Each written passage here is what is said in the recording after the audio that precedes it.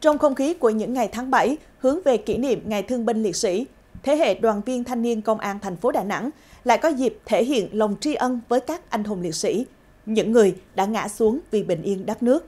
Thông qua mô hình Chúng con luôn bên mẹ, sự mất mát, đau thương của các mẹ Việt Nam anh hùng nay đã được bù đắp một phần bằng chính tình thương của thế hệ mai sau. Căn nhà của mẹ Việt Nam anh hùng Nguyễn Thị Khả hôm nay rộn ràng niềm vui bởi có sự xuất hiện của những người con đặc biệt. Ai nấy cũng tất bật cho công tác chuẩn bị, nào là nhặt rau, kho cá, nấu thịt. Một bữa cơm ấm áp tình thương được các chiến sĩ công an tự tay nấu để tham gia sinh hoạt cùng mẹ.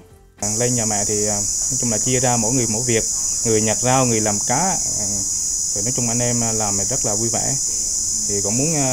cùng có bữa cơm với mẹ cho ấm áp. Thấy là quá vui, hơn con của mẹ.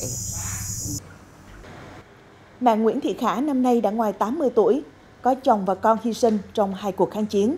Sự có mặt động viên của những người con, thế hệ mai sau là nguồn động lực, khích lệ tinh thần to lớn để mẹ vui hưởng tuổi già. Đó cũng chính là tình cảm mà mỗi cán bộ chiến sĩ gửi gắm thông qua mô hình Chúng con luôn bên mẹ. Hàng tháng, à, các di đoàn và cùng đoàn viên thanh niên à, sẽ tổ chức đến à, thăm mẹ và đồng thời là khám khám bệnh và phát thuốc